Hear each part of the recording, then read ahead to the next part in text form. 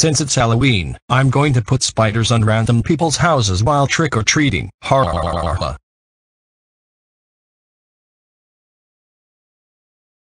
Now I'm outside during the night. Now it's time to put the spiders on the porch and then ding dong it.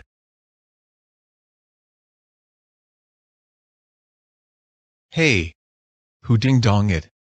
I was trying to give the costume kids candy. Now what? Oh my god, it's a spider. I gotta get out of here. Now let's move on to the next house.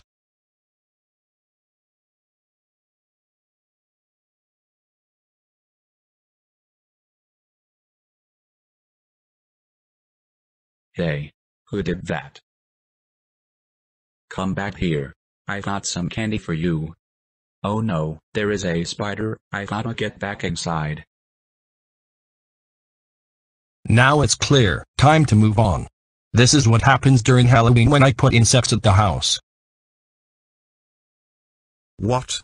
Who just knocked at my door? Maybe it was Sid the Science Kid.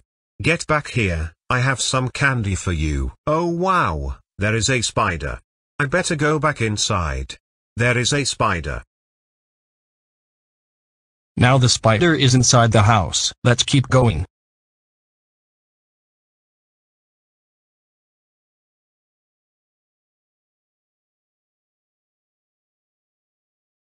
Hello?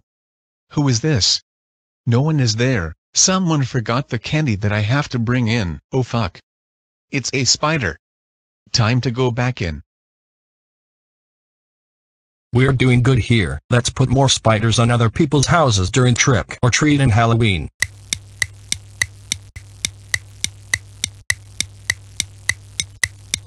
Now let's do the last one. Hello. Who's there? I forgot to bring in the candy to all the trick-or-treaters. Who was it? It's a spider. Maybe it was Sid the Science Kid. Get over here.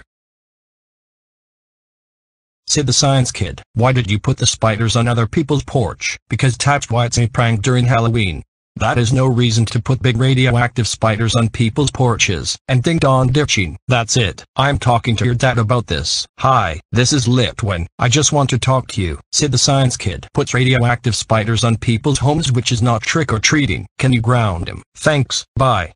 Sid the Science Kid, I cannot believe you put radioactive spiders onto people's porches during trick or treat. You are grounded for 242,323 years. Thanks to you, you are not allowed to put radioactive spiders onto people's porches. This can give them an injury.